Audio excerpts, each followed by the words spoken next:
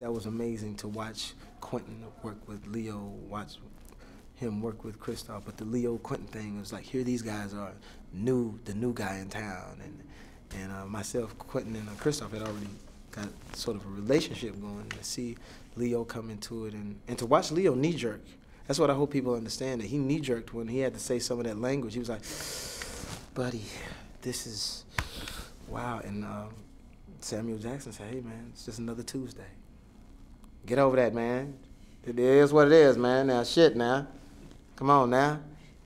And uh, to see Leo come in the next day and not speak to us and go to work and house those scenes and did one scene where he got a standing ovation